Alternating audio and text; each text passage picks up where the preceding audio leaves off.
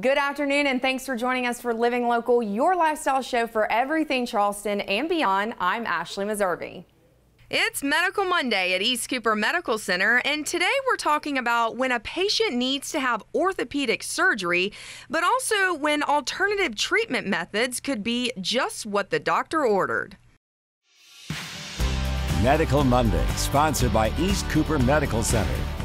Joining us today, Dr. Brody McCoy. Thanks again for having us. Well, thank you so much for coming here. Really appreciate it. All right, today we're talking about non-surgical treatment options.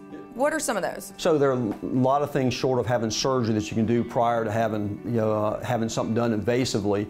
One of the several things that can be done, one is physical therapy and taking non-steroidals, but a very exciting aspect of orthopedics, kind of a new branch of orthopedic surgery, if you will, is something that we call orthobiologics. It just means using biological means, nat, you know, kind of natural means to help heal your body. And probably the, another good way to look at it is what we do is we concentrate your natural, your body's natural ability to heal, and we use that to treat various conditions a couple things that, that are in this category. One would be something called platelet-rich plasma, or PRP. There's been mm -hmm. a mm-hmm. lot of that in the lay press. And the way this works is we, we draw about 10 cc's of blood out of your arm, just like you would have in a, um, if you were getting your cholesterol checked. We take that 10 cc's of blood and we spin it down in a centrifuge, just like you probably had in your high school chemistry class.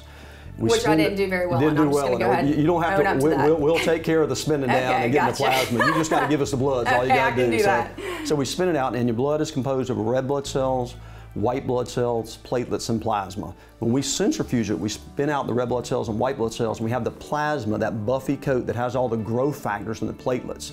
That has a, you know, thousands of growth factors that allow your body to heal itself. We take that milieu and we inject it in various aspects of the body, wherever the damage may be, to try to help treat the condition. So we're trying to jumpstart your body to heal itself because the healing's in the blood.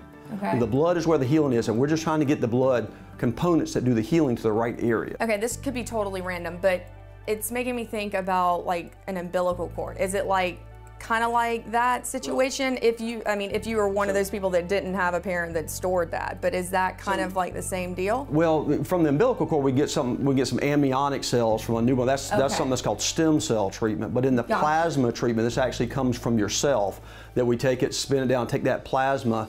It works real well in people that have like tennis elbow that's recalcitrant or not you know being treated by other means.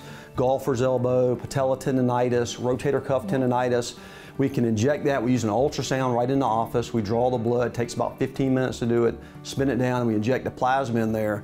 The results are phenomenal. They, there was a huge study in Sweden where they looked at comparing um, lubricant injections. A lot of people that have any arthritis probably know what those mm -hmm. are, like you know, hyaluronic acid. Comparing that to PRP, hands down, the plasma injections are much better. So who are candidates? I mean, I know you talked about so, some of the... Yeah, so rotator cuff tendonitis, you know, shoulder problems that people have. It doesn't matter your age? Doesn't matter your age, doesn't matter your age. We, we do people from, you know, I, I do a lot of high school athletes, collegiate athletes.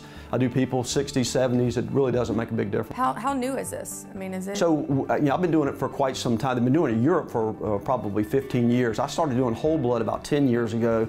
Been doing plasma for probably about six years and had excellent results with it. So is this though for someone who really just doesn't want to go under the knife and you're, are these the things that you're trying before? Sure, all this is before surgery. I mean, I, we try to start as conservative as we can, treat what we can conservatively and reserve surgery for yeah. only those who fail these other measures. Which is such a great thing because a lot of times you find people, you need surgery or yeah, you yeah. need that instead of trying everything they can to not go under the Sure, I mean people think, well he's an orthopedic surgeon, all he does is operate. The vast majority of people I see in my office I treat non-operatively. Wonderful. Okay, so and if how effective you would so, say yeah, yeah so great great question so we looked at some of these studies that you know it varies depending on where in the body you're talking about but i think we've got about an 85 to 90 percent efficacy rate wow. uh, of getting somebody better with this uh, again, the, the, the way this, what's exciting, because anywhere you think about people have problems, like whether it's tennis elbow, mm -hmm. golfer's elbow, patella tendonitis, what all those diagnoses have in common is there's a lack of blood supply.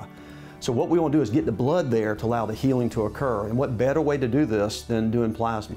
That's incredible. Well, Dr. McCoy, thank you again well, for thank you for having us. us. We sure appreciate it. And as always, you can visit them online at eastcoopermedctr.com.